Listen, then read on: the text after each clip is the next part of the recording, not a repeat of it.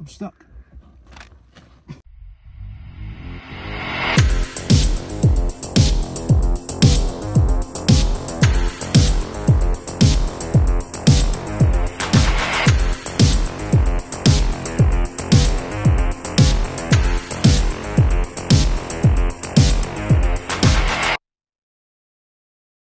So we're back out exploring and Ioan's been very busy, look. Look at all these stones he's dug. And here he is. Here we go. How about this then? This here is the latest little passion project. Um, thanks to the landowner, been able to dig open this level. Uh, out of all the levels that I've ever dug open, this is the one that's been blocked for the longest. So it's been around 200 years since this was last open, based on old mine plans, old ordnance survey maps, etc. It's a late 1600s level that was used in right at the beginning of when gunpowder was used, um, and that's all we know about it. So this is going to be a proper adventure, a proper lost mine that has been unexplored for around 200 years. So about you know 1820, 1830. There's a nice draft blowing out, so we know that it communicates with some other workings. So this should be good. Let's go and find out. Let's explore it. So I started digging up there three days, uh, three three days of spent here. Um, after about five minutes of digging, hadn't hit bedrock yet, but could already feel um, the draft blowing up. So this shows that we're not going to have any lack of oxygen in there because there's a fresh draft of air blowing out from a shaft higher up on the hillside. So that's good news. Um, so we've hit uh, hit bedrock kind of around here. This is bedrock here, very shaly uh, mudstone. We've got a nice rib of quartz here, which is possibly what the miners were actually following. And then on the last day, we finally broke through. So after about six or seven feet of, uh, of digging vertically, and once again, it's uh, th- thanks to the landowner for allowing this dig and uh, whatever may lay within. The spoil heap is decent sized, so we're hoping for a decent length of level. And as said, it dates from the late 1600s and it's not been explored since around 1820 or 1830. So, whatever we find, everything in here that you're going to see on camera has not been seen for around 200 years. Here it goes. Here goes nothing. Like a chute. There's a bit of water I can see, but it doesn't look deep.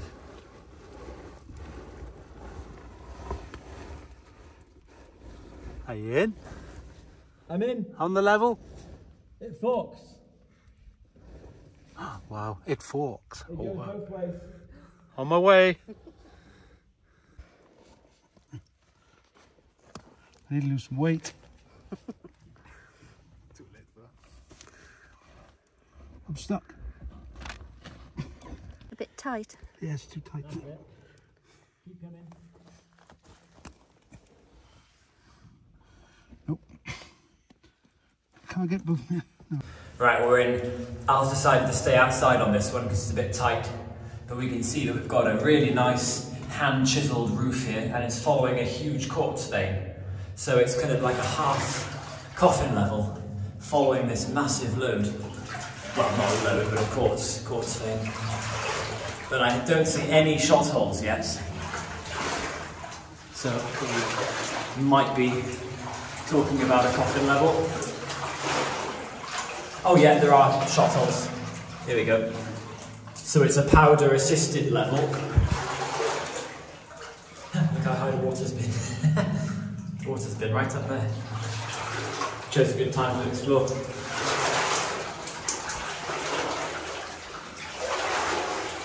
Yeah, water's certainly been very high in here.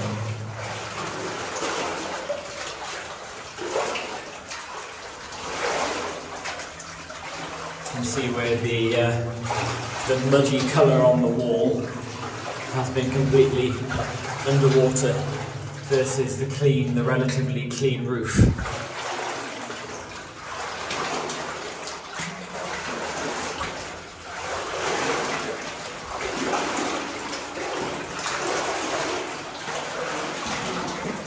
Something on the wall.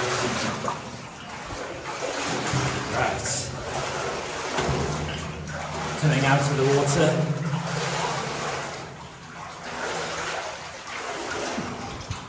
Into the mud. Quite thick mud as well. It's getting stuck. I can see the end of the mud up here. So judging by these shot holes, this is indeed late 17th century, so it's late 1600s. And we're coming up to a very well-defined hanging wall. Look at that. Very nice hanging wall there, side of the lode. And then a very, very small clay joint to the lode running along the roof there. This is very nice. It's driven along the lode. Still with that very well defined water bar. We'll keep an eye on this wall in case there's any dates, because these are the sort of walls you do tend to find engravings. Bedrock floor.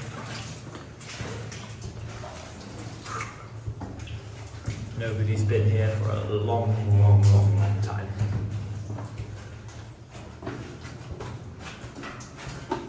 Oh, suddenly jumps uphill. That's weird. It's just going to jump uphill quite steeply here. Why is that? I think it's because we've intersected a very small lode and it's now drifting it uh, east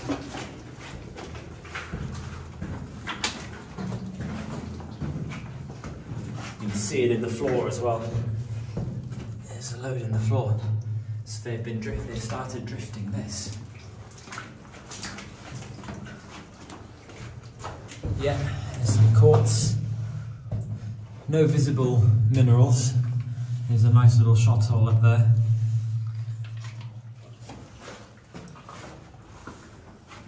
Bit of a dog leg. Ooh, it's meandering all over the shop. This is very, very old. Yeah, more minerals in the roof. Wow. It's meandering all over the place. And we're getting into more mineral bearing ground. This is lovely. We got us some um, breccia, lode breccia here. See those smashed up pebbles of country rock cemented by quartz? That's breccia and a nice exposure. And we've got a little bit of lead here, a little bit of uh, argentiferous galena, that's lead ore. That's what the miners were after.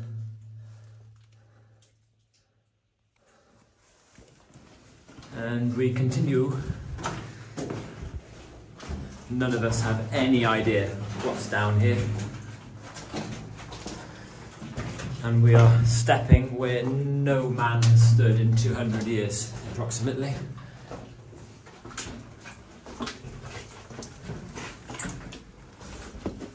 Ah, and here's the end. Yeah, we got a collapse here with some timbers. Yeah, this is the collapsed rise going up into higher workings. The draft blowing down from the surface and some water as well. So now that we've been to the end of the level, on the way back, I'm going to be scouring the walls for any indication of dates or anything like that. Lots of nice hydrozincites on the wall. Small piece of wood here. Could be the end of a tool. A 17th century, late 17th century tool. I think 1698 was the date that I've got for this level, and the only record that survives of it, uh, around 1698. Alright, head back out of this.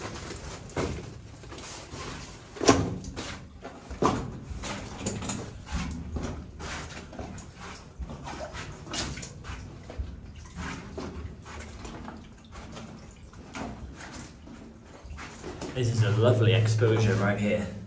Look at that lode exposure. Coming from the roof all the way down across there to the forehead. So what they're doing is they're crisscrossing from small lode to the other.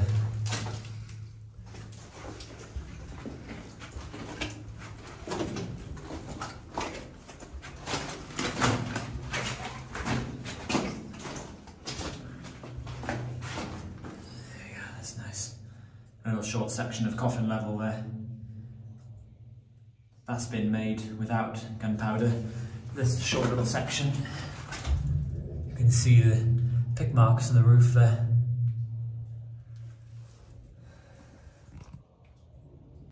On the way out, just found a very small nugget of galena there in the wall, a little small nugget of lead ore. The lode is very sporadic here, there's another piece of it up there. All over there. The miners didn't really find enough to warrant stoping or extracting the ore. They were just drifting through all these different little veins, checking them all out before reaching that big stope at the end, which is now all collapsed back down there. Oh, whoa. This is what we were hoping for. We've got engravings. Right, let me put this down. These are old. We've also got engravings here. Uh, presumably a sort of tally counting. Yeah, we've got engravings here. Tally marks. I shine the torch a bit better, you might be able to see them better. There's tally marks here. Tally marks there. And up here, now then, the question is, what does that say? It looks like an L up on top.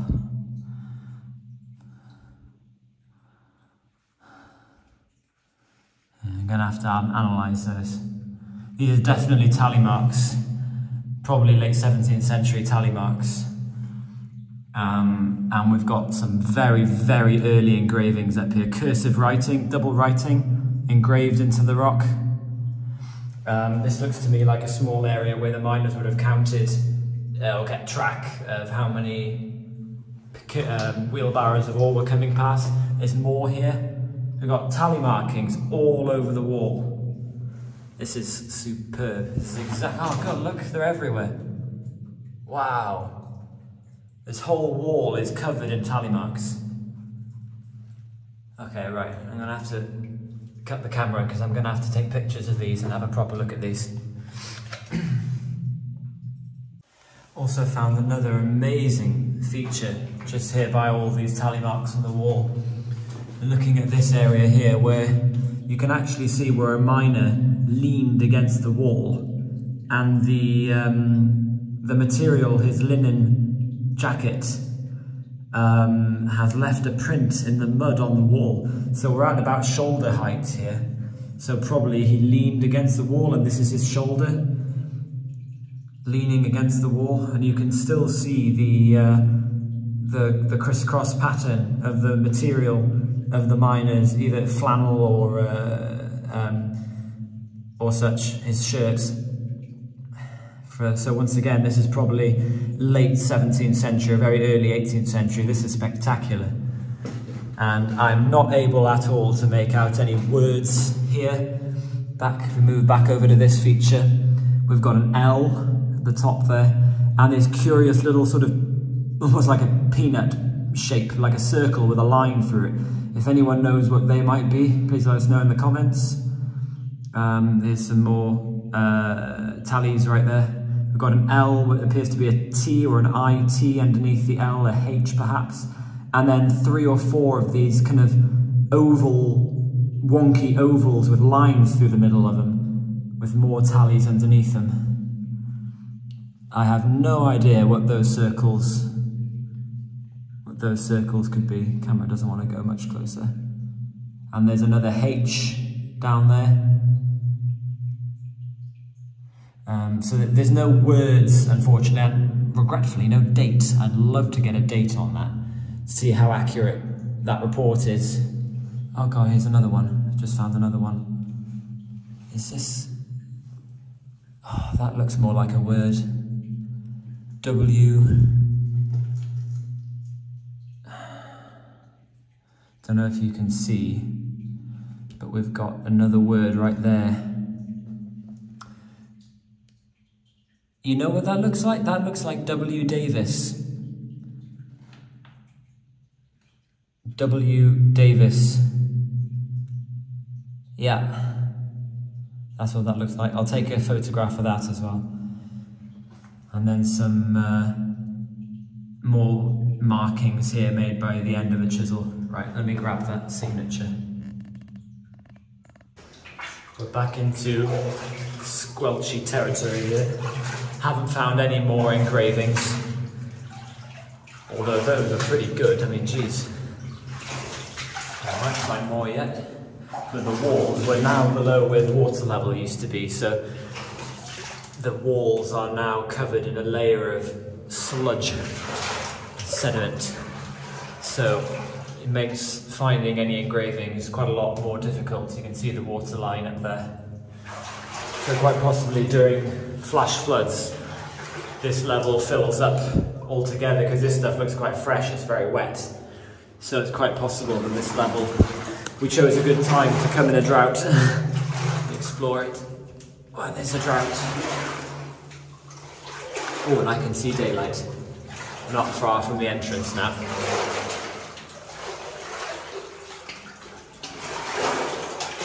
See how uh, Al's doing on the back outside.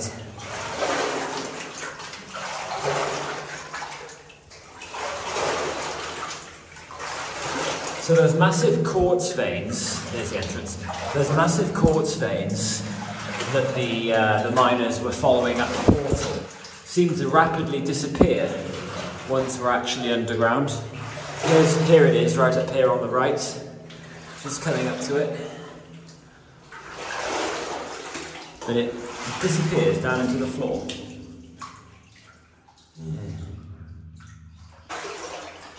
Alright. I think this was a gold mine if I didn't know it was lead, judging by this quartz. Because normally, adits following big quartz veins like this are, tend to be trials for gold. So before we head out, there's this little alcove here on the left,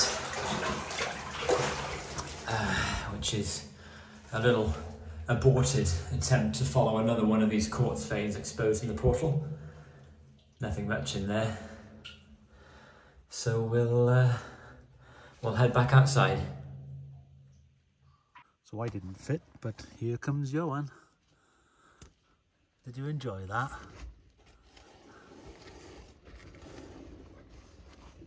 There's one tight squeeze. You okay? Yeah. Shame I couldn't get in, but hey ho. Well, there was, it was a very, kind of a long, meandering level, very old, almost a coffin level. If I can get out of it. That's tight. Jeez. There you go, can you grab my phone?